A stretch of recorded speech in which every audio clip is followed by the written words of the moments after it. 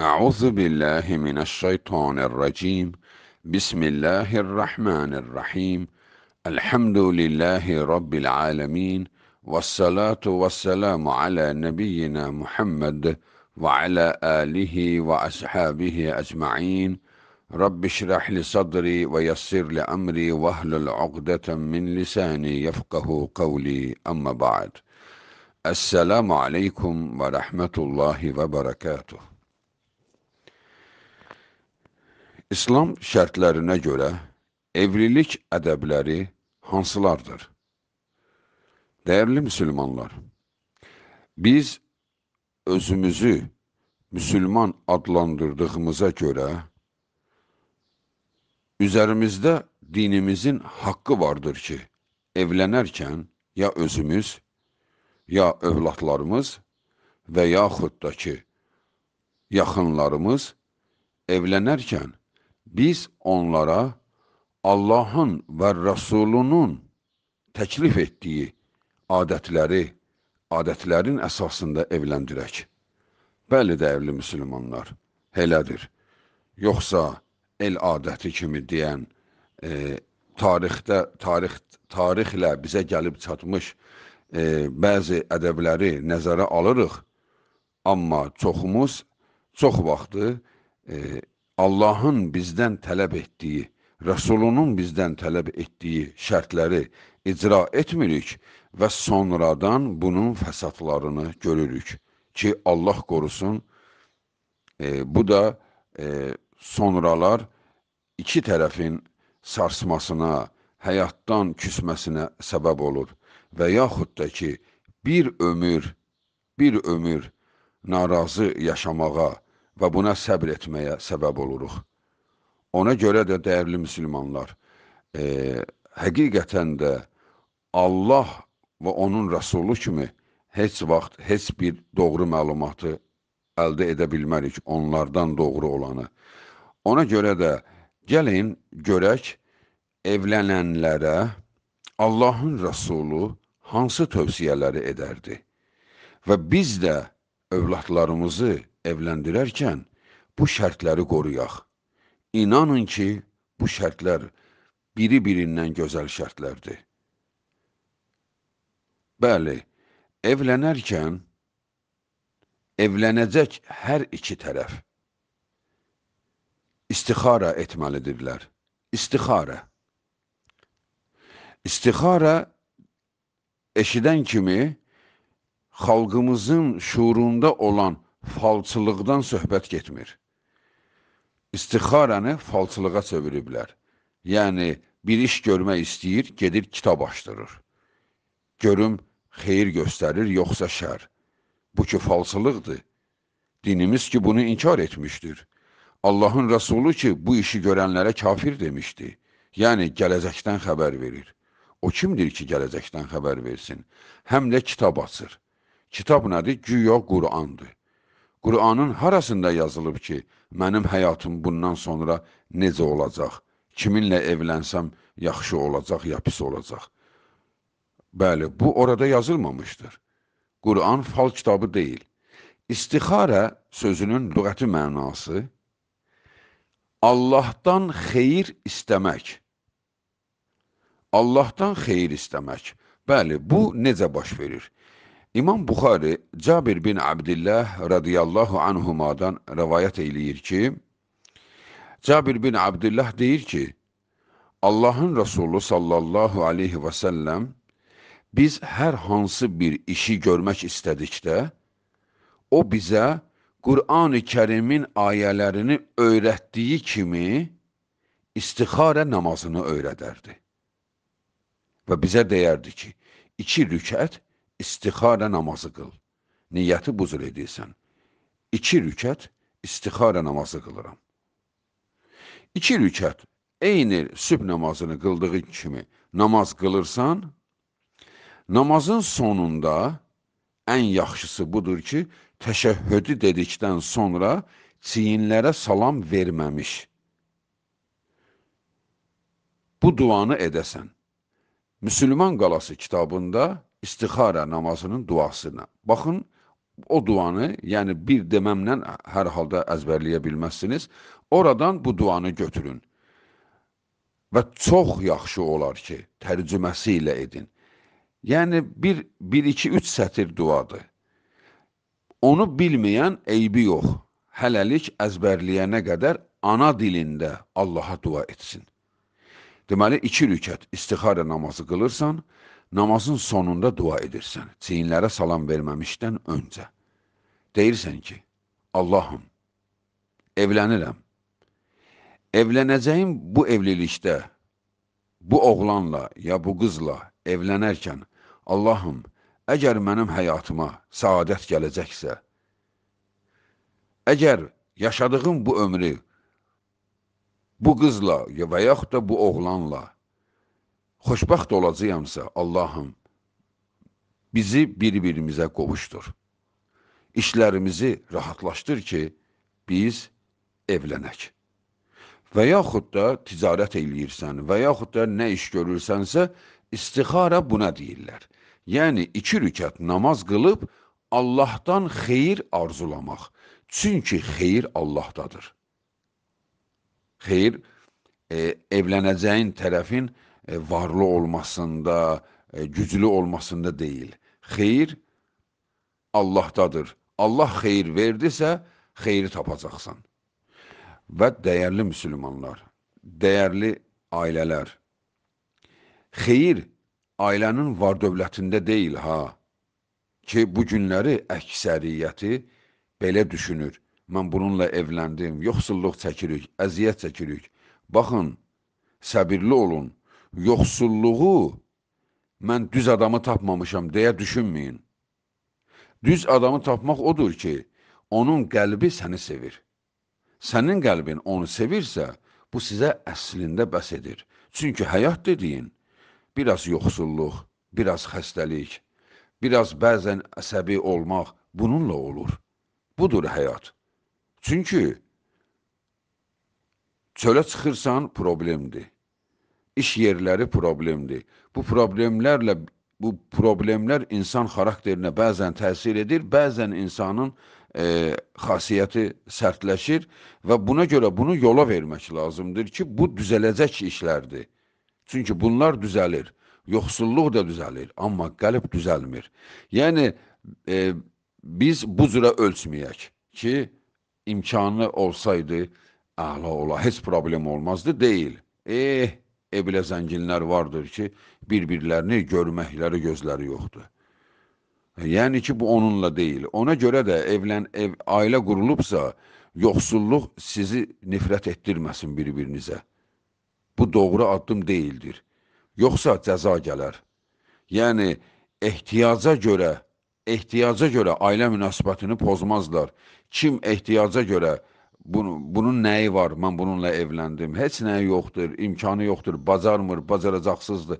Bax, buna görə pozmayın münasibətləri. Bu, sürətlə, tezliklə düzələ biləcək işlərdir. Amma qəlb isə bitişmir. Deməli, xeyri Allahdan arzulamaq. Bu, evlənən insana ən birinci tövsiyə olunan işdir. Allahdan xeyir istə. Bəli, dəyərli müsəlman, Allahdan xeyir istə. Sonra oğlanla qızın bir-birlərini görməsi. Amma cahillərin adəti ilə deyil, İslam adəti ilə. Bunların ikisi biri-biri görüşür, bu şərti ilə şahid olur yanlarında. İmam Tirmizinin Həsən sənəd ilə rəvayət etdiyi Muğirə bin Şubədən gələn hədisdə o deyir ki, Allahın Resulü sallallahu aleyhi və səlləm buyurmuşdur e, deyir mən evlənirdim, o mənə dedi, unzur iləyhə, get qıza bax. Çünki siz bir-birinizə baxarkən aranızdakı duyğular hiss olunacaq. Bir-birinizə baxın yəni. Çünki sevgi gözdədir. Göz gözü gördükdən sonra qəlbdə yaranan qığılcım sevgi əlamətidir. Bu bu cürə baş verir, görməklə baş verir və ona görə də oğlan qıza, qız oğlana baxmalıdır. Və şahid yanında iki nəfər xəlvəti yox ki, bunlar üçün görüş düzəlt, getsinlər, bir çıxsınlar, gəzsinlər birlikdə əsla. Çünki onlar gəncdirlər və onlar çılğındırlar və beləcə onlar əsli sevgini tapmazlar. E, çünki e, keçici şəhvətlə sevgi qarışar bir-birinə. Bu bəzən, e, yəni bugünkü müasir Avropa ailəsində bu bu cüradır. Yəni onlar sevgi ilə şəhvəti qarışdırıblar. Şəhvət başqa şeydir. O təbii prosesdir. Sevgi isə həyatdır. Sevgi qəlbdə olur, orqanlarda olmur. Sevgi qəlbdə olur. Ona görə də sevdiyimdirmi? Rəbbim mənim üçün bunu təyin edibmi? Əgər əzəli qədər olaraq sən heç dünyada yox idin, Rəbbin sənin üçün ayırdığı qız və yaxud da ki, ayırdığı oğlan sənin qarşıva çıxıbsa, sən onu görən kimi qəlbində qığılcım yaranacaq, sevgi yaranacaqdır. Çünki öz tayıbı tapdın. Türkçədə buna deyirlər eş. Eş yəni tay. Sənin tayın. Sanki bir tayıbı tapdın, cütləşdiniz. Bəli, deməli, e, buna bir neçə Əbu Hureyre radiyallahu anhudan da rəvayət olur ki, Allahın Resulü sallallahu aleyhi və səlləm e, evlənənlərə, evlənmək istəyənlərə deyirdi, baxdın mı qıza? Bir nəfərdən soruşur. O deyir, xeyr ya Rasulullah, baxmadım. Deyir, get, get qıza bax. Çünki sənin gözündə çox şeylər, gözün gör görməsi ilə çox şeylər yerinə düşür. Yəni, bəli, get qıza bax. Çünki sevgi bu şəkildə dəqiqləşir, təyin olur. Baxmaq şərtdir. Baxarkən də, yəni, ola bilər e, zahiri görünüşünə baxsın. O, qız hətta edə bilər ki, e, hətta məsələ çox ciddidirsə, yəni, xoşu gəlsə, evlənəcəklərdirsə, e, qız hətta hicabını belə oğlanın yanında aça bilir. Hicabını yanında aça bilir. Necə ki, Omar radiyallahu anhu Fatimə radiyallahu anhanın qızı ilə evlənəndə Gülsümlə. E, Omar e, Gülsümə deyir ki, e, aç hicabını sənə baxım. Gülsüm də deyir ki, e, sən əmir əl-müminin olmasaydın, mən, mən səni vurardım. Omar gülür, deyir ki, Fatimənin qızıdır, ha, anası kimi hünərlidir, maşallah. E, bax, beləcə, yəni ki, onlar bir-birlərinə baxıblar. Yəni, hətta hicabını, niqabını açdırıb, üzünə, saçına belə baxa bilər.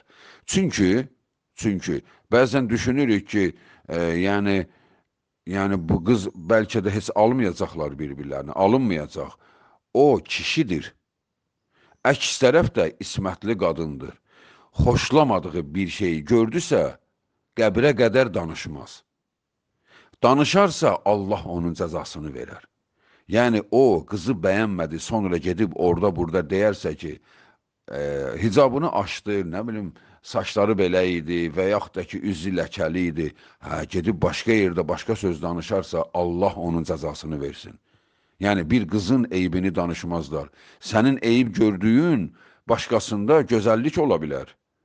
Başqası onu bəyənə bilər, amma sən dilinlə deməklə onu gözdən salarsan. Bəyənmədinsə, deyəcəksən, Allah məsləhət bilmədi bizi bir-birimizə. Necə ki, sahabələrdən olub. Hətta boşanarkən bir-birindən onlar deyiblər ki, mən bunda heç bir pislik görmədim. Qəlbimiz sevmir bir-birini. Bax, belə danışıblar. Yoxsa insan ayrılırlar bir-birindən, iki müsülman ayrılır, ayrılıq da təbiidir də, yəni Allah göstərməsin, amma baş verir. Subhanallah, elə sözlər danışırlar ki, biri-birindən, sanki dünyanın iki ən pis adamı bir-biri ilə evlənmişdi. Nə oldu sizə ki? Nə oldu ki? Dünənki sevirdiniz bir-birinizi. Bugün bu qədər ki, nifrət edirsiniz. Sevməyə bilərsiniz, ayrılırsınız. Müsülman kimi ayrılın, ədalətlə ayrılın. Dərdlərinizi ona buna danışmayın. Çünki o bu məsələni abardır, şişirdir. Alınmadı, sevmədik bir-birimizi, ayrıldıq. Allah ona xeyir versin, məndən başqasıyla. Mənim üçün də xeyirli yollar açsın. Bu şəkildə ədalət ilə ayrılmaq, ayrılmaqdırsa ayrılsın. Üçüncü şərti e, Allahın Resulü sallallahu aleyhi və səlləm burada e, dini olan birisi ilə evlənin deyir. Dini olan birisi ilə. Allahın Resulü buyurur ki, Abu Hureyre radiyallahu anhunun rəvayət etdiyi hədisdə, hədis Buxari və Müslimdə qeyd olunmuşdur.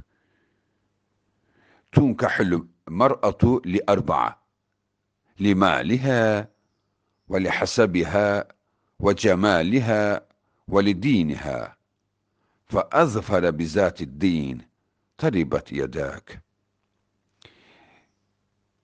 Bir qız ilə dörd, dörd şeyə görə evlənmək olar. Evlənən ya onun gözəlliyinə görə evlənir onunla və yaxud da ki, qohum, qohum tayfasına görə evlənir onunla. Və yaxud da ki, malı mülkünə görə evlənir onunla. Deməli, gözəllik, qohum əqraba, mal, mülk və yaxud da dini ilə, dininə görə evlənir onunla. Mən sizin üçün dinə görə evlənin. Bunu seçirəm. E, deməli, ola bilər, bu da təbiidir. Biri e, bir qızı gördü, bir qız oğlanı gördü, gözəlliyinə vuruldu. Bu icazəlidir. Və yaxud da ki, yoxsul oğlandır, qız zəngindir və yaxud da ki, qız yoxsuldur, oğlan zəngin deyir ki, hə, mən bununla evlənsəm, zəngindir, həyatımız rahat olar. E, bəli, bu da icazəlidir. Yəni, qadağan deyil. Var dövlətinə görə evlənib, bəli. Pis iş görməyib. Söhbət ondan gedir ki, ən yaxşısı hansıdır? Hə, Allahın Rəsulu deyir ki, ən yaxşı dininə görə evlənin. Yəni, evlənərkən araşdır. Gör, e, bu oğlan nə ilə məşğuldur? Uyuşturucu bağımlısıdır, əyyaşdır, zinakardır. Yoxsa bu, bu insan gündə beş vaxtı namaz qılandır, gecə namazlarına durur, Allahdan qorxur, haram yemir, faizə götürmür, uyuşturucu qəbul etmir. Yəni yəni Allahdan qorxandır. Hə, Allahdan qorxandırsa, hə, sən onunla bir ömür yaşayacaqsan. Biraz elə, biraz belə. Yəni bu o demək deyildir sən ona getdiyin gündən hər gün gözəl sözlər eşidəcəksən, hər gün saadət içində olacaq, olacaqsan. Bəli, saadət içində olacaqsan, amma hadisələr yaşanacaq. Çünki evlənib hadisə yaşamayan hələ tarixə belə bir adam düşməyib. Bu ümmətin ən xeyirlisi Muhammed sallallahu aleyhi və səlləmdir. Onun bəzən zövcələri ilə elə konflikti olub ki, sahabələr biz deyir ki, biz dedik ki, o zövcələrin hamısını bu gecə boşayacaq. O qədər qəzəblənib. Hadisədir. Və biz də ki, elə düşünə bilmərik, ha, onun zövcələrinə baxır, necə Allahın Rəsulunu əsəbləşdirir. Sən kimsən ki, o, o, onların ikisinin bir-birinə olan münasibətin qarşısında? Onlar ailədirlər. Biz kimik ki? Min il sonra gəlmiş insanlar. Yəni, biz ona müdaxilə edə bilmərik. Biz ikisini də sevirik. Zövcü də, zövcəni də. Allahın rəsulunu da, onun həyat yoldaşını da. Nə yaşayıblarsa, evin içində özləri yaşayıb və sonra da barışırlar və sonra da bir-birini seviblər və sevərək də dünyalarını dəyişiblər. Bəli, yəni heç kəs ailəyə müdaxilə etməz. Nə olur onların öz arasında baş verir. Bəli, deməli, seçərkən dinə görə seçmək çox mühümdür. Və qızı da, qızsın da belədir. Yəni, qız, e, qız da bir oğlan seçərkən belədir. Çünki Allahın Rasulü sallallahu aleyhi və səlləm digər bir hədisdə buyurur ki, qız dörd şeyə görə evlənir, bayaq saydıqlarımızı. Amma kişi, kişi içinsə sənin evinə elçi gəldisə bir kişi, birinci dinini soruş. Dini qaydasındadırsa, o birilərini çətinə salma. Yəni, istəsin e, mehri danışırsan, nə verə bilərsən kimi, amma birinci dinini soruş. Çünki bir kişi üçün ancaq dindir. Daha kişi gözəlliyinə görə evlənilməz ki, hə, yəni kişi gözəl olmur ki. Kişi sadə olur, qız gözəl olur. Yəni gözəllik sözü qadına aiddir, kişiyə aid deyil. Hətta səhabələr çox da özünə güzgü qarşısında baxmağı xoşlamazdılar. Allahın Rəsulu buna e, həvəs yaratmazdı. Qoymazdı belə şeyə çox etməyə. Yəni bu o demək deyildir özünə baxmaz. Yəni az baxar. Yəni hey güzgü qarşısında olmaq qadına məxsusdur. Çünki onun üçün yazılıb özünə fikir vermək, gözəllik. Yəni kişi üçün bu qədər də deyil. Yəni biraz səliqəsinə baxsın, saçına, saqqalına baxsın, üzünün, əlinin təmizliyinə baxsın. Daha e, güzgü qarşısında bir nöqtə axtarmasın. Hə, buramda nədir çıxdı? Həkimə gedib onu əməliyyat edib təmizlə, oradan götür. Yəni bu qədər incəlik yaxşı xasiyyət deyil kişi üçün.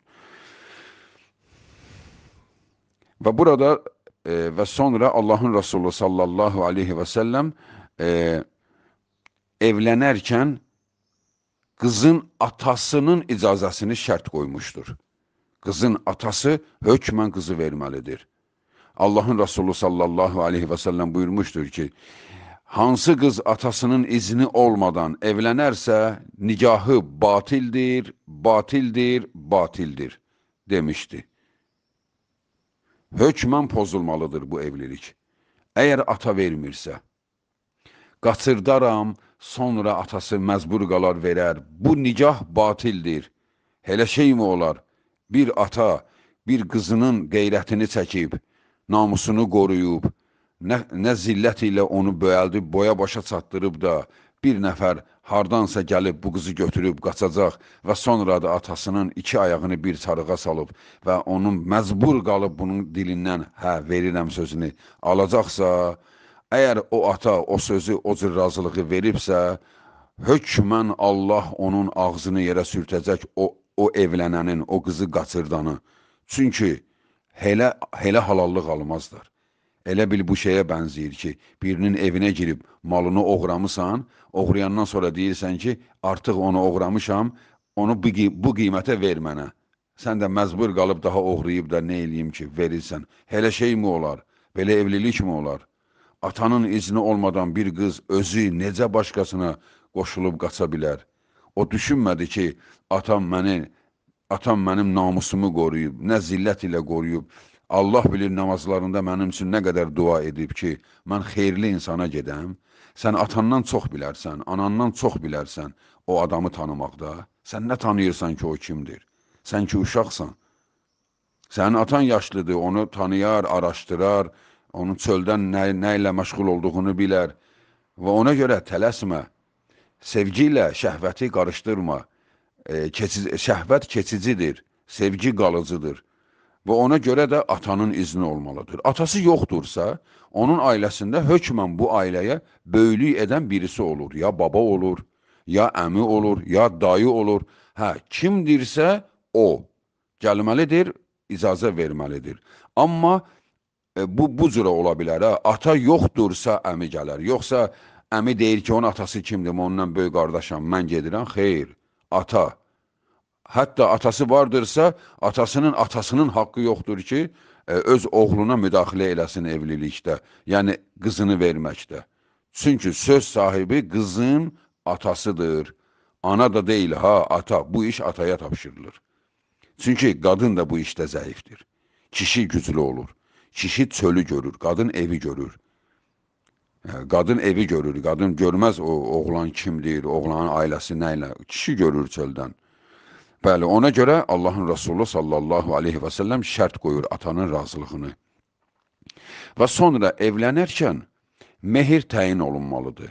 Yəni qıza qıza e, qiymətli əşyalar verilməlidir. Bu nə üçündür? Bu onun üçündür ki, bu qızın garantisidir. Qızın garantisidir. Çünki Allah qorusun, e, boşanma işi olanda oğlan başını götürür, bir yerə gedir, çarə tapır özünə. Qız atasının evinə qayıtdıqda necə yaşayacaq? Misal üçün, iki övladı da var, üç övladı var. Necə yaşayacaq? Atasının da tutaq ki, heç evi, evi artıq bölünmüşdür. Atanın da evinə getməyə də yeri yoxdur.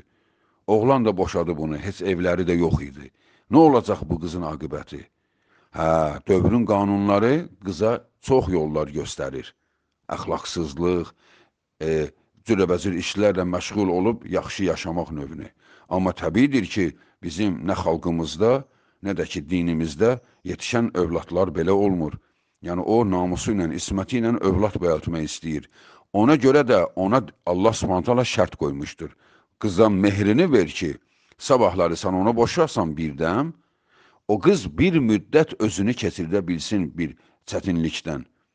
Ona görə də qıza mehir hökməndir. Nicah qıyılanda, nicah qıyılanda mehir təyin olunmalıdır. Mehirdəki məbləğ mühüm deyil. E, çox aşırı məbləğ də oxumaq olmaz. İndi ərəblərdə misal üçün e, 15 kilo, 17 kilo qızıldan danışırlar, nələrdən danışırlar. O çox zəngin həyatdır. Yəni o tövsiyə də olunmur. Sadəcə olaraq qızın razı olacağı bir qiymət. Ola bilər ki, qız bir üzüyə razı olsun. Və ola bilər desin ki, mənə məsələn boyunbağı verin, sırğa verin, üzük verin, e, bu cür olsun, bu cür olsun. Qıza göstərilir, qız baxır deyir ki, mən bunu bəyənmirəm. Bəli, qızın bəyəndiyi bir şey verilməlidir. Kimsə də o, o, o vaxtı düşünməsin ki, "A, buna indidən bəyəndirə bilmirik, sonra necə olacaq? Bu onun haqqıdır. Çünki həyatında bir dəfə ona qiymətli bir şey verəcəksinizsə, bəlkə də bundan sonra heç nə verməyəcəksiniz. Onu o da bunu dəyərləndirmək istəyir. Sevdiyi bir şeyi qulağına, baş, boynuna salmaq istəyir. Yəni niyə hələ alarkən sənin düşündüyün olmalıdır ki? Onun sevdiyi olmalıdır. O yaşayacaq. O geyəcək bunu. Qoy, qoy onun istədiyi olsun. E, deməli, e, və qıza o mehr verilir. Qızın razı olduğu mehrə nicahı qıyan adam hökmən qızdan razılığını soruşmalıdır. Qız, bəli, mən bu mehrə razıyam deyir və bu şərt tamamlanmış olur. E, və sonra da Allahın Rasulunun tövsiyələri də vardır ki, e, yəni mehri çox da ağırlaşdırmayın, ağır şərtlər qoymayın. Qoyun subaylar evlənsin, qoyun yoxsul gənclər də evlənsin. Yəni e, sahaba qadın olub ki, e, oğlanın üzərinə mehri qoyub, e, mənim üçün filan surəni oxu, e, üzr istəyirəm, sahaba deyirəm. Tabein qadınlar olub ki, və yaxud da ki, itbaat tabein qadınlardan. Oğlanın üzərinə Qur'andan surə qoyub ki, filan surəni əzbərlə, bu mənim mehrim olsun. Oğlan da surəni əzbərləyib. Hə, bu da mənim mehrim. Ola bilər ki, bir çiçək verdi, bunun bununla razılaşdı. Yəni qız nəyə razılaşsa o onun mehri sayılır. Sonra daha deməsin, mənə heç nə vermədiniz. Yəni sən razılaşmısan buna, bununla da tamamlanmışdır məsələ. Və sonra nikahın şərtlərindən biri də hər iki tərəfin bu evliliyə razılığı. Qohum əqrəbanı demirəm, ha, oğlan və qız. Evlənərkən oğlan və qızın razılığı mühümdür. Ona görə də dəyərli müsəlmanlar, qızınızı evləndirəndə nicah qıyanı evinizə dəvət edin və yaxud da nicah qıyanın evinə gedin, qızı da aparın. Nicah qıyan e, müsəlman elm adamlarına tövsiyə olunur. Nicah qıyarkən qızı tələb eləyin, qız gəlsin məclisə. Çoxusu e, qız, qızın gəlməsini e, ayıbdır, qız niyə gəlsin kəbinə, e, atası gəlib bəsdir deyir. Nə olur ki, e, nigaha gedəndə, rəsmi dövlət nigahına gedəndə onlarla, icirmilərlə e, oğlanların içində qız gedir nigahını orada qıya bilir. O ayıb çıxmır. Amma bir e, din adamının yanında gəlib oturub, o adamı ona sual verəcək o sualın cavabını hə, yox cavabını verməsi bu qədərmi ayıb olur? Yanında atası, yanında evlənəcəyi oğlan, yanında şahidləri, burada ayıb nə vardır ki? Özü də hökmən deyildir nicah qıyanın yanında otursun. Yaxın otaqda oturur, nicah qıyan isə kişilərlə oturur. Sadəcə olaraq bir dəfə qızdan soruşacaq, ey filankəs filankəs qızı, səni filankəs filankəs oğlu ilə evləndiririk. Sən bu evliliyə razısanmı? Allahın Rasulü deyir, ya hə deyir, ya da susur. Susması da razılıqdan sayılır. Çünki sahaba qadınlar deyir ki, ya Rasulullah, biz həya edirik orada hə deməyə. Deyir, sus. Susman da razılıqdır. Amma etirazın varsa, atan səni zorla verirsə, hökmən de, de, xeyr, razı deyiləm sən razı deyiləm sözünü deyəndən sonra sənin e, yəni ki artıq bu nikah qıyılmaz. Çünki burada mühüm olan qızdır. Çünki oğlan üçün o qədər də problem deyil. Mühüm olan qızdır. Çünki qızın həyatı bu dəqiqə yəni elə bir şeylə həll olur ki, onun bundan sonrakı həyatı bu gündən asılıdır. Çünki adətən atasının evində naz ilə böyəlmiş bir qız artıq ərə getdikdən sonra Allah qorusun, Allah qorusun. Boşanma işi olursa, onun artıq ikinci həyatı başlayır. ikinci həyatı heç vaxt birinci həyatı kimi qiymətli olmur. Ona görə də bir qızın həyatının ən qiymətli dönəmi ərə getdiyi birinci dəfə evliliyidir. Onun ikinci evliliyi dünyanın sultanına da getsə, o heç vaxt birinci evlilik qiymətində olmur. Qiymət aşağı düşür. Qiymət, yəni mən maddi qiyməti demirəm, dəyər, yəni ona verilmiş hörmət aşağı düşür. Allah qorusun, bu üçüncü dəfə olanda lap aşağı düşür. Yəni sanki o e, dəyərdən düşür. Ona görə də evliliyi birinci addımında çox ciddi dəyərləndirmək lazımdır. Razısansa evlən, razı deyilsənsə bildir. Ay atamdan utandım. Ay mənə dedilər, mən səsimi çıxarda bilmədim. Səsini çıxarda bilmirsənsə onda bir ömür buna dözməlisən. Sonra demə mən bacarmıram, sonra demə alınmır. Çünki bu həyat korlanır, sənin özünün də həyatın korlanacaq. Sən inan ginən ki, ikinci evliliyin buna qədər olmayacaq.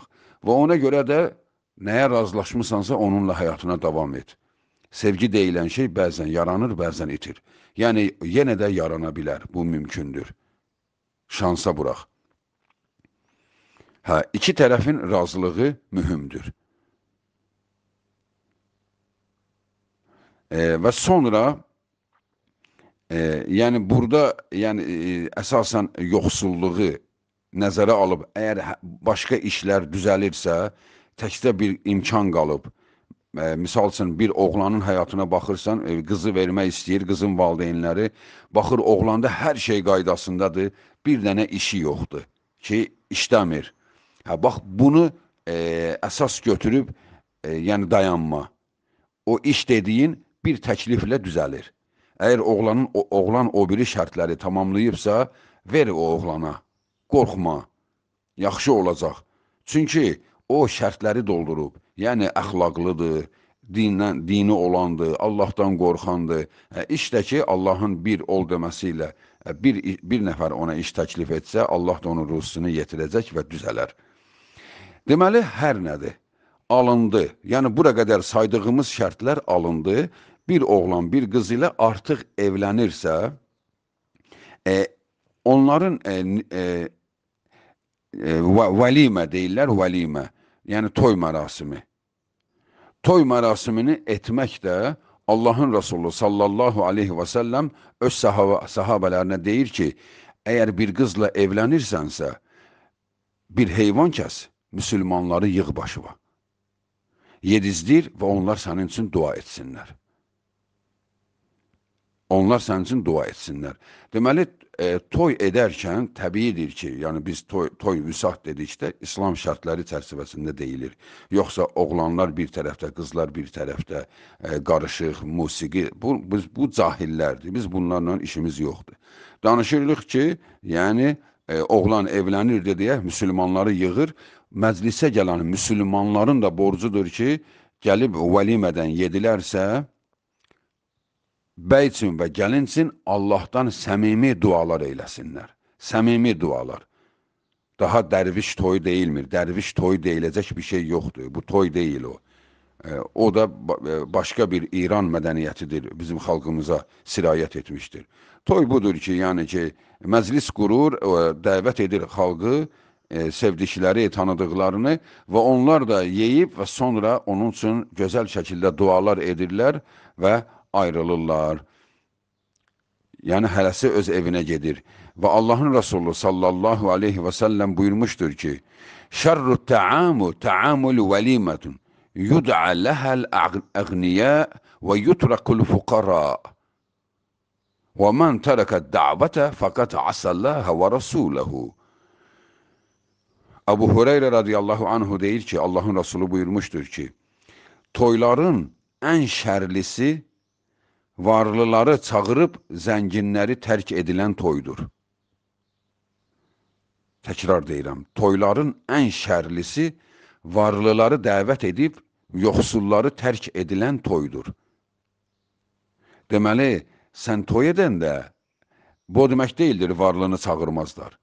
Varlığını çağırıb da yoxsulu çağırmamaq əsla bunu düşünmə. Sən bilginən ki, o zəngin heç e, sənin toyunda yediyindən də yaxşısını evində yeyir. Amma sən yoxsulu daha çox dəvət et ki, yəni 3 zənginə dedinsə, 10 yoxsula de ki, o yoxsul yesin, sevinsin. Onun gözlərinə nur gəlsin. Onun duasıdır sənin gələcək həyatının saadətində. Yəni, yoxsulları dəvət elə, zəngini də dəvət elə, amma çoxunu yoxsul et, yoxsulları çağır. Qorxma, düşünmə ki, o yoxsul mənim toyumda nə yazdıracaq və yaxud mənə nə yardım edəcək. Bu yardımlaşma, bu, bu da ayrı mədəniyyətdir. Yəni, yəni din deyil. Amma varsa, bir şeylər edirlərsə, özləri bilərlər, o başqadır. Amma sən düşünmə ki, yeyib gedəcək, yoxsuldur, heç nə yazdırmayacaq, heç bir yardım etməyəcək. Onun bir duası, Allahım, xeyir ver bu insanlara, duası sənə bəsdir. Yoxsulu dəvət et. Allahın Rəsulunun nifrət etdiyi məclislərdir. Zənginlər yığılıblar bir yerə, hamısı təkəbbürlü, təkəbbürlü, maşınlarını düzüblər sıraya e, və oturublar geyimləri ilə sevinirlər, evindən danışır, pulundan danışır. Allahın nifrət etdiyi məclisdir o məclis. Allahın ən sevdiyi məclisdir yoxsulların. Yəni, sevə-sevə yeyib, sevə-sevə Allaha dua edən insanların məclisi. Belə məclis qurmaq lazımdır. Və sonra evlənən şəxs evləndiyi zövcəsinə, yəni o, o zifaf gecəsi ki, qız ilə görüşür, sağ əlini evləndiyi qızın alnına qoyur və Allaha dua edir. Allaha dua edir ki, Allahım, bu şəxs ilə mən evlənirəm. Allahım, bizim ikimiz içində həyatımızı nurlu et. Allahım, bizə xeyirli övladlar ver. Allahım, ya zəngin, ya yoxsul, nə yaşadıqsa, sən nəyi məsləhət bilmisənsə, ikimizin də qəlbini buna razılaşdır. Yəni, biz birlikdə gözəl bir həyat yaşayaq. Allahım, bizi biri-birimizə sevdir. Bax, beləcə dua edirsən. Sağ əlini qızın alnına qoymusan və yaxud da ki, başının üzərinə qoymusan, dua edirsən. Çünki o, sənin bundan sonra ömrünün sonuna qədər yaşayacağın bir ailən olacaq. İlk günü onun üçün dua edirsən. Sonra iki rükət namaz qılır, oğlan imam olur, qız da onun arxasında. İki rükət namaz qılırlar, elə sadə nafilə namazları kimi və o namazın da sonunda hərəsi ayrılıqda dua edirlər ki, Allahım, bizim artıq biz bir həyata başladıq. Artıq bizim içimiz bir ailə oldu. Yəni, yeni bir çıraq yarandı. Yeni bir ailə. Bundan sonra bizim törəmələrimiz olacaq. Allahım, bizə xeyir bərəkət ver. Beləcə, iki rükət də namaz qılıb bu duaları edirlər və artıq evlilik bundan sonra davam edir. Burada yanlış olan bəzi adətlər ki var, xalqımızda olub, nə bilim, yengə deyirlər, e, gəlir e, bir oğlan tərəfindən, bir qız tərəfindən. Bütün bunlar yanlış adətlərdir. Bunlar e, qadağan olan adətlərdir. Yəni, o oğlan və o qız, onlar ailədirlər. Haçan istəyərlər, e, onlar birlikdə olarlar. Haçan istəyərlər nəyi yaşamaq, özləri onu təyin edərlər. Yoxsa kimlərsə gəlir, onların gözləyib onlardan bir cavab almalı, gedib kiməsə deməli. Yəni, bu xəlvəti işlərdir. Bunu o iki nəfərdən başqa kiməsə aidiyyatı yoxdur. Yəni, bu cür adətləri e, götürmək lazımdır. Yəni, bunları e, etmək lazım deyil. Keçmişdə də bu düz olmayıb. Olmalı şey deyildir bu. Bu işlər belə bir işdir ki, bunun üçün heç bir müəllimə ehtiyac yoxdur. Sevgi özü hər şeyi qaydasına qoyur. Yəni, bunlar artıq biri-birinə razılaşıblar. Bu, heç bir cavabı, heç bir xəbəri bir yerə aparmağa ehtiyac yoxdur. Bəli, Allah subhanətə Allah bütün müsəlman övladlarımıza xeyirli insanları bir-biri ilə qarşılaşdırsın. Kim də qarşısına nə çıxıbsa, artıq onunla bir ailə qurubsa, onunla e, səbr edib yaşamağa çalışsın, çünki ömür çox da uzun deyil. Ömür çox da uzun deyil ki, özün üçün eş axtarasan çox da. Yəni, nə qarşıba çıxıbsa artıq, yəni bu şərtlər olmalı idi. İndi olmayıb, cahillik olub, böy verdi, sənin xəbərin olmadı, hər nədir, bir həyata başlamısansa, ona davam et, səbirli ol, e, sən bilginən ki, sənin e, bu sevinci yaşamamısansa, övladınla başqa sevinci yaşayıb, bu sənə bunu e, yerini Allahın izni ilə ödədər. والسلام عليكم ورحمة الله وبركاته.